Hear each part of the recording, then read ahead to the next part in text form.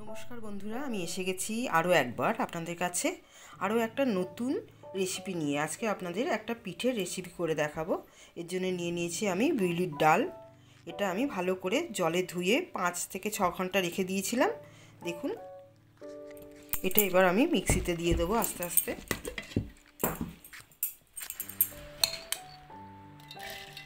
দিয়ে আমি বেটে নেব। যদি মনে হয় খুব ঘন হয়ে গেছে একটু সামান্য জল দিয়ে নেব।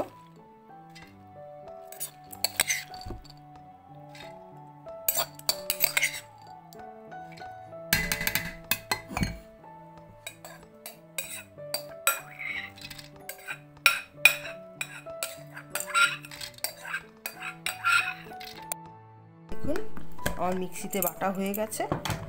আমি একটু জল দিয়ে দিয়ে এইভাবে ঠিক ব্যাটারটা তৈরি করে নিয়েছি। এটা আমি ঢেলে নিচ্ছি।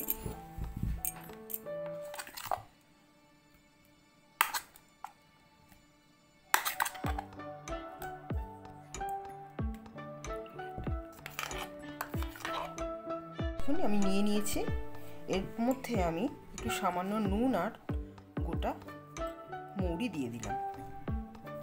এবার খুব ভালো করে এটা আমি ব্যাটারটাকে আমি এটা ফেটে নেব।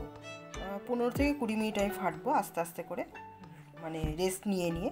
কারণ যত বেশি ফাটবো, তত এটা ভালো হবে স্মুথ হবে, খেতেও ভালো লাগবে। দেখুন, এইভাবে আমি এটা ফাটতে থাকব।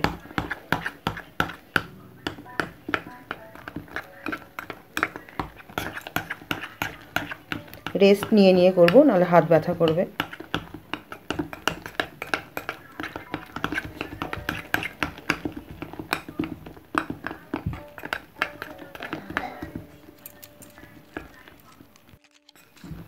দেখুন, কতটা ফুলে গেছে।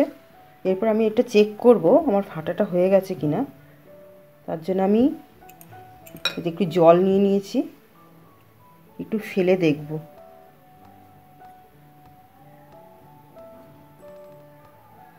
ভাসছে, তার মানে আমার ফ্যাটাটা পুরো কমপ্লিট দেখুন, আমি কড়াতে তেল দিয়ে দিয়েছি, সাদা তেল দিয়েছি, সাদা তেলে ভাজবো। এরপর এই ডাল বাটাটা ছোট্ট ছোট্ট করে আমি হাত দিয়েই গোল গোল করে ছেড়ে দেব। তেল এখনও হয়নি আর একটু হবে। একটু আগেই দিয়ে ফেলেছি।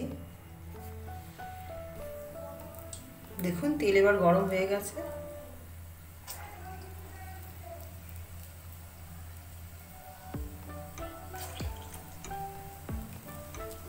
এইভাবে ছোট ছোট করে, গোল গোল করে আমি বড়াটা ভেজে নেব।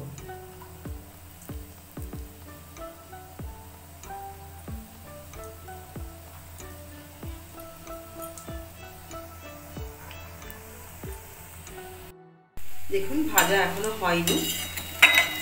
হালকা ব্রাউন আসছে কালারটা আরও একটু ভাজবো আমি।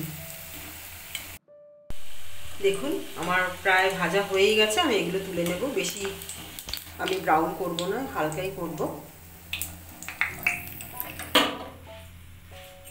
এইভাবে আমি সব ডাল বাটাটাই বড়া করে ভেজে নেব। দেখুন, বড়াটা কত সফট হয়ে গেছে। পুরো চিপে যাচ্ছে। দেখুন। এদিকে ডালের বড়াটা ভাজছি, আর এদিকে আমি কড়াতে জল বসিয়ে দিয়েছি। এবার আমি আমার পছন্দ মতো মিষ্টি আমি দিয়ে দেবো, আমি যতটা চাইছি। আপনারা আপনাদের পছন্দ মতো মিষ্টিটা দিয়ে দেবেন। দেখুন, আমি চিনিটা দিয়ে দিচ্ছি এরপর। আমার রসটা হচ্ছে, তার মধ্যে একটু আমি এলাচ গুঁড়ো দিয়ে দিলাম। আর দিয়ে দেব এক চামচ ঘি।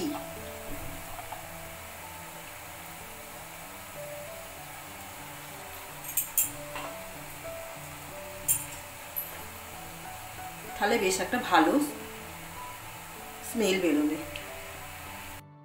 আমি রসটা কিন্তু খুব বেশি ঘন করব না, একটু পাতলাই রাখব। দেখুন, আমার রস হয়ে গেছে, একেবারে ফুটছে, আমি বন্ধ করে দিলাম। আর একটা কথা আপনাদের বলে দিই, আমি যখন ডালটা ব্যাটার করে নিয়েছিলাম মিক্সি থেকে বের করে ভালো করে মিক্স করে নিয়েছিলাম, প্রায় পনেরো থেকে কুড়ি মিনিট। তারপর কিন্তু আমি এক ঘণ্টা চাপা দিয়ে রেখে দিয়েছিলাম। তাহলেই খুব ভালো আরও স্মুথ হবে। এরপর এই গরম রসটা আমি আস্তে আস্তে করে এটার মধ্যে ঠেলে দেবো।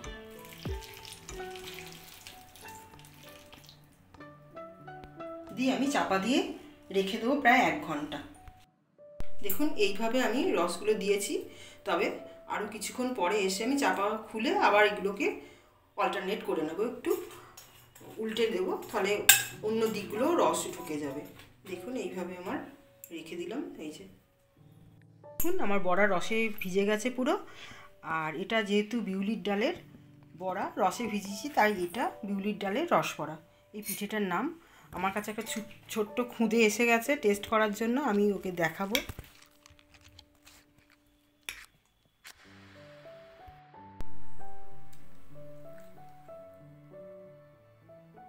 থ্যাংক ইউ আর আপনাদেরও যদি ভালো লাগে একটু করে দেখুন। যদি ভালো লাগে অবশ্যই লাইক করবেন শেয়ার করবেন আর সাবস্ক্রাইব করে করে দেবেন। ধন্যবাদ।